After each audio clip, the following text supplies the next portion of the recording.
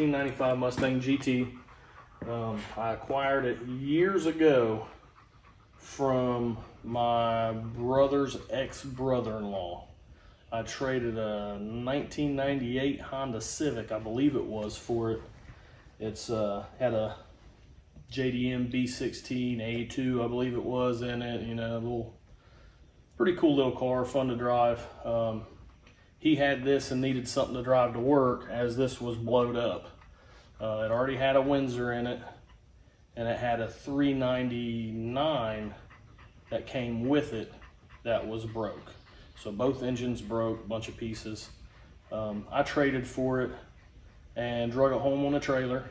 And my wife, Jess, said that she had to have the car, that I got it to get rid of. I was going to better myself and she had to have it. So it stuck around. Um, kind of moving into when I got to working on it.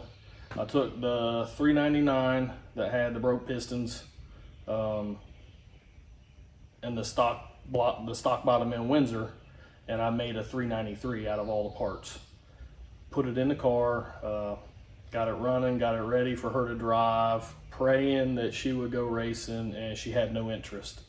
Uh, she had she never sat in the car from that point until about what two and a half, three months ago. um, so I put a nitrous kit on it and just started street racing it. Um, ended up burning up a couple pistons in it and it sat for years. Um, fast forward till three, four years ago, um, got the bright idea to put an LS in it.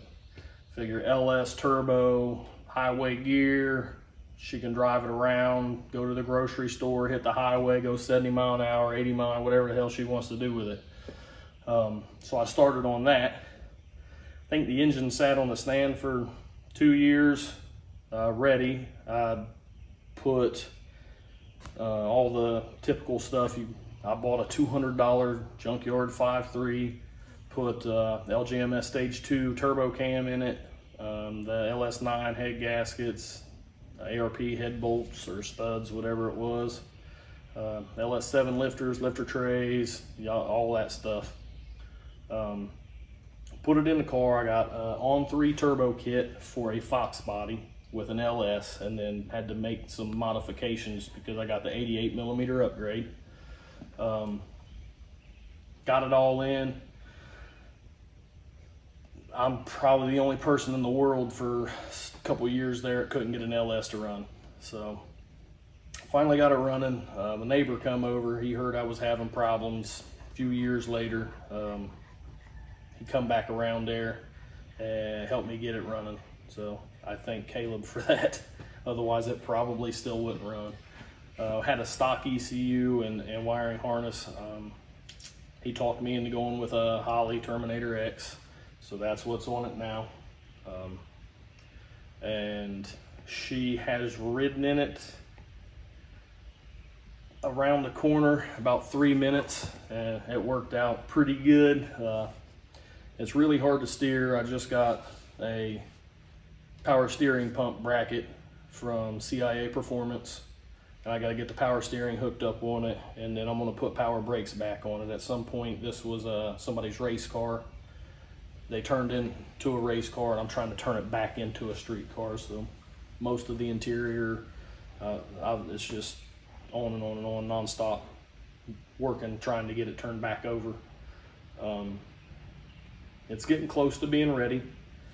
It's a fun ass car for me to drive, but she still hasn't driven it yet. Um, at some point it will happen. I've, I've still got to get, it's got a power glide in it right now and I'm going to put a 4L80 in it for her. So it's a lot easier for her to just hop in and do what she wants to do with it. Right now we're on 15 pounds of boost and it runs pretty well. Like I'm, I'm impressed with the way it runs on 93 pump gas. So we'll see how it goes.